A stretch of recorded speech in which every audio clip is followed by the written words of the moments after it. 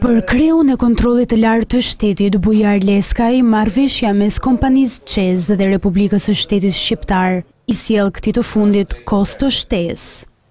Shtetit shqiptar i shkaktuar një dëm ekonomik i përllogaritur minimalisht në vlerën katërqind e shtatëdhjetë e nëntë milionë euro, të cilin ne e kemi ndarë në tre grupe, vlera prej nëntëdhjetë e pesë milionë euro, Totali i huave, vlera prej treqind e pesëdhjetë e dy milionë euro,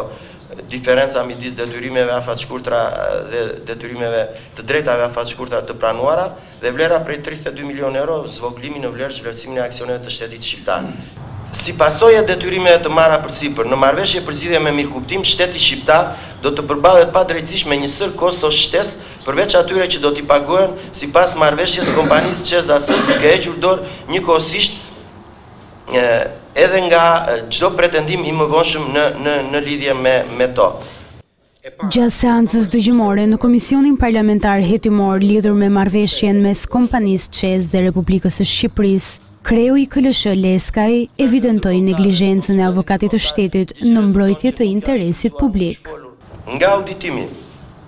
ne na ka rezultuar gjithashtu që krahas përgjegjësisë së anëtarëve të grupit të punës, të kryetarit të grupit të punës, Avokati i Përgjithshëm i Shtetit, ka pasur detyrimin dhe përgjegjësinë e veçantë që në kushtet e titullarit të institucionit që kishte drejtuar për një kohë të gjatë në drejtim të mbrojtjes së interesave të shtetit shqiptar në mosmarrëveshje ndërmjet CEZ AS dhe Republika e Shqipërisë dhe që kishte dijeni për ekzistencën deri dhe të elementëve të veprës penale në lidhje me veprimtarinë e mëparshme të ish-drejtuesve të CEZ SHA,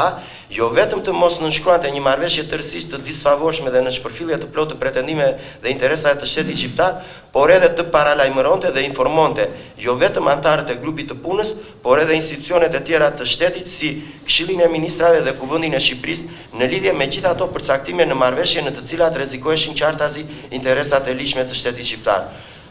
Në përfundim të raportimit, kreu i Komisionit, demokrati Edmond Spaho, njoftoi kreun e KLSH se pyetjeve të anëtarëve të Komisionit do i përgjigjet në mbledhjen e ardhshme të tij të paracaktuar për ditën e mërkurë në orën shtatëmbëdhjetë zero zero.